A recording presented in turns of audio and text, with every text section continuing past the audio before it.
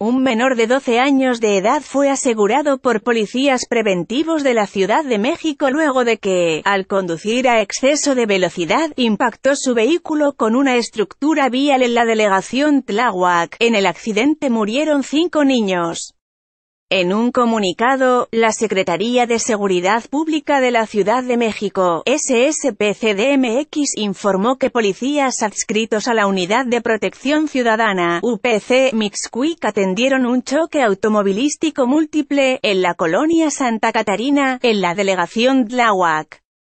La SSPCDMX agregó que el vehículo negro marca Pontiac viajaba a exceso de velocidad sobre eje 10 sur con dirección al norte, perdió el control, se impactó con la estructura vial y quedó sobre el acotamiento.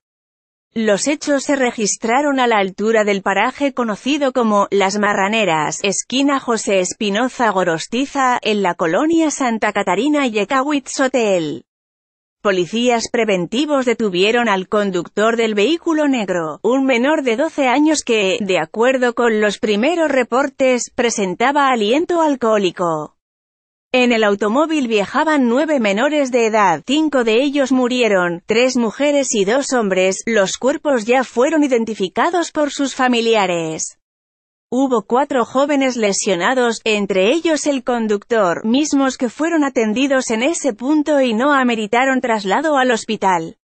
El detenido fue canalizado ante la Fiscalía Central de Investigación para la Atención de Niños, Niñas y Adolescentes, con información de la SSPCDMXLHE.